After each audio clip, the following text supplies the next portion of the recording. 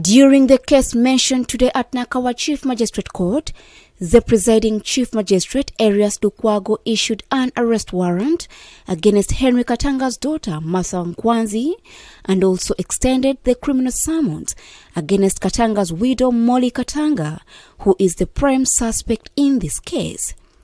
This was after defense lawyers informed court that Molly Katanga was still bedridden and had just undergone a fifth operation.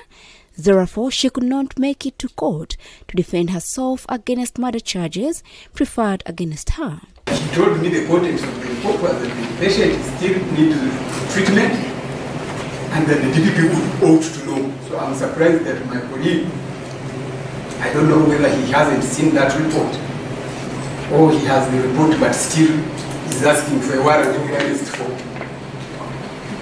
an admitted patient who he is aware of and he has a report from the experts who he commissioned, the DPP. I'm not talking about him as an individual, but the office.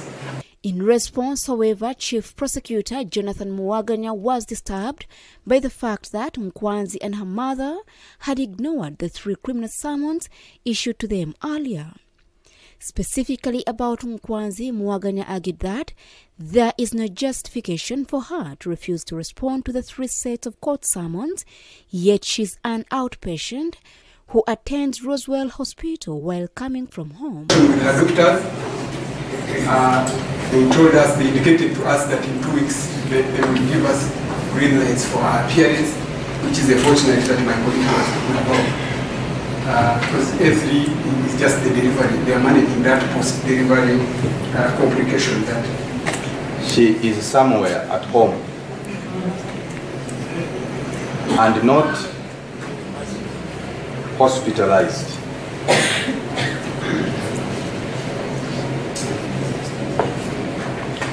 You know, the report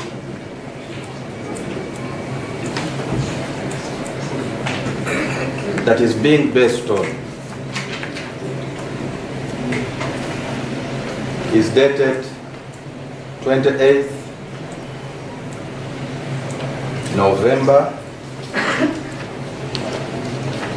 2023. 28th November. Muwaganya said since Nkwanzi is not hospitalized for postpartum care, she ought to be arrested and presented before court. Consequently, an arrest warrant was issued against Martha Nkwanzi before the case was adjourned to the 28th of January for further mention. Regarding the three suspects already on remand, the DPP says police inquiries are still ongoing and that they cannot be admitted on bail since the case files have been called by the High Court for review. Go to warrant arrest and extension of criminal summons. Respect of accused number one and accused number three.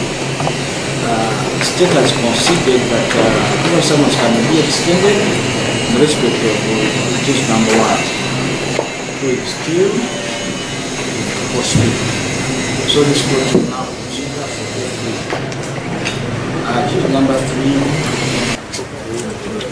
Three people, including Patricia Kankwanza, Amanyire George, and Charles Otai, are already on remand and are charged with destroying evidence. Prosecution alleges that Henry Katanga was shot dead on November 2, 2023, at Mbuya Chwatu Road, Nakawa Division, Kampala City, by his 50 year old wife, Molly Katanga. Prosecution further states that Amanyire George and Charles Otai, a nursing officer at Kireka B Zone in Kira Municipality, Wakiso District, received or assisted other people known to them to be liable for an offense in order to enable them escape punishment. Rachel Nachwala reporting for the news.